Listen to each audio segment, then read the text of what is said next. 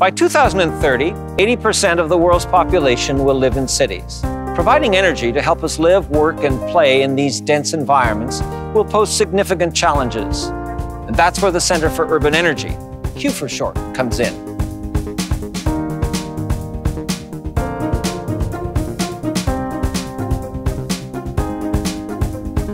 The existing electricity system has largely been the same 100 years.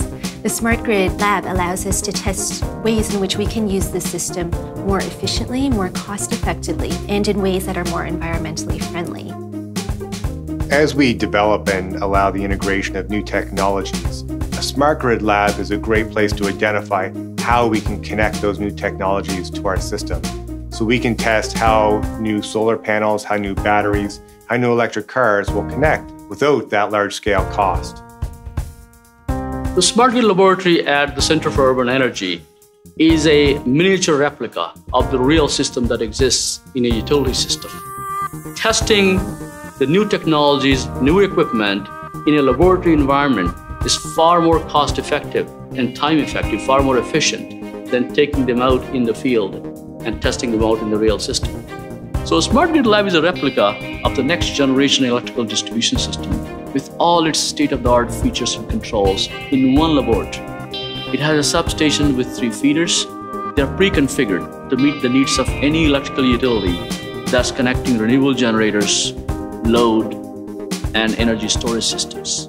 It also has utility-grade protection systems for all the feeders, transformers, and bus bars, as well as an automated metering infrastructure, a supervisory control and data acquisition system, and above all, it has an advanced distribution management system. It therefore is a smart grid lab in the true sense.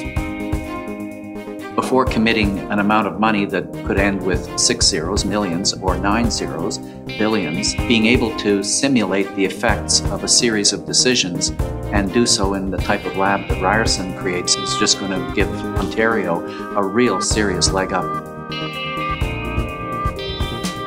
Traditionally, universities have driven research in their labs and hoped that some of that research would be commercialized. At Ryerson, we work with industry partners right from the outset to identify real societal needs and to bring together researchers, students, and partners to address those. It's the first of its kind. So, as it's often said in a field that I came from before, it's good to be the best, but it's best to be the first.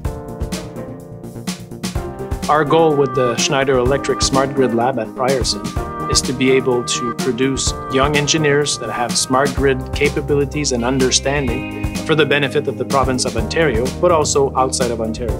The Smart Grid Lab is funded by the Ontario Ministry of Energy through Smart Grid funds and a generous equipment donation from Schneider Electric. The lab is created to test and innovate new smart grid products in a utility environment in addition to training and education.